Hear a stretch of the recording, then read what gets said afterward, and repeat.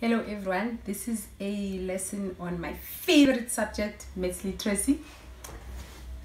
We're gonna look at percentage. Sometimes you are asked to calculate the percentage. Sometimes you are asked to calculate how much of the percentage. There are three ways that they can ask. So here I have three examples to show you when we are asked different things.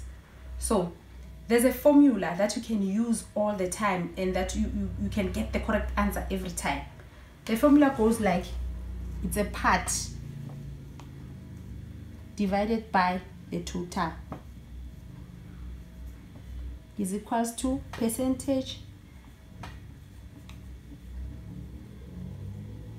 divided by 100 we're going to use this formula three times uh, to see when you are asked the part when you are asked the total and when you are asked the percentage.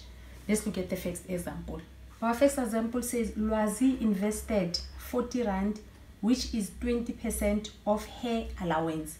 How much is her allowance per month? Now, in this question, you are given the part. He's investing 40 rand. You are given the percentage, it's 20%. You are asked to calculate how much is the total allowance. So you're asked to calculate the total. So when you use this formula, your part is 40 rand divided by total, what I'm calculating for, is equals to the percentage is 20% divided by 100. When you have this total, when you have this cross multiply, so I'll have total. When we cross multiply, you multiply the denominator and the numerator of the other side. This is grade 8. In grade 8, you were taught to, to cross multiply.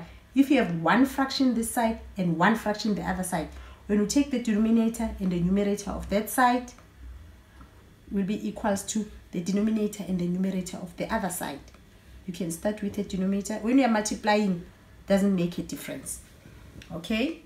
So, I want to calculate the total. So what I'll do, I'll divide both sides with a 20. So the 20 will cancel the 20. So the total amount will be, then you take your calculator you said 40 multiplied by 100 is equals to divide by 20 so the total amount that it's his allowance per month is 200 so this is how you use this formula. Let's look at the second example. Next. Uh, example Thato invests 15 percent of 5000 how much did she invest? This question most learners can do without the formula. But i'm going to use the formula to show you how you use it. If you can get a correct answer without using the formula you don't need to. Okay let's see. Um the 15 percent is the percent and the 5000 is the total amount. So it means i want the part. But what is the part in this particular question is the investment. So you don't write part because whoever is marking your script need to mark what you are asked. You are asked the investment not the part. The total amount is 5000 percentage is 15 percent and the 100 comes with a formula. Right? So you see you have i want to leave investment. I don't have to cross multiply and divide again I can just multiply both sides with a 500 because it's a denominator, it will cancel out. So I'll multiply this side with a 5,000, multiply that side with a 5,000.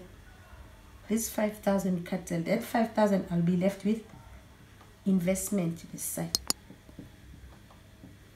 My investment will be, then I take my calculator, 15 divided by 100 multiplied by 5,000 so my answer is 750. If he invests 15% of 5,000, he'll be investing 750. Let's look at the third Now the last question. Alex invested 50 rand of 3,000 that he has. What percentage of his money did he invest? So now here in this question, we want the percentage. We have the part which is the 50 rand. We have the total which is the three the 3000 is equal to that's what we are looking for percentage. Divided by 100 that comes with formula same thing with the other question. You don't have to cross multiply in this question. You can just multiply by 100 both sides. Then this one will cancel that one then I can multiply that. And then my answer will be percentage. Is equals to 50 times 100 divided by 3000 so the percentage it's 1 point your calculator says 66 so you're going to round it off to 6 7 percent. It depends on your question paper. What did they say round it off to what? To two decimal place or three decimal place? So it's 1.67 percent of the investment. That's the percentage that he, should, he alex will be investing. So with these formulas you need to practice them. The, this one is not hard. It's one of the easiest formulas that you can memorize but you really need to memorize it before you go to your exam thank you for watching. This the end of my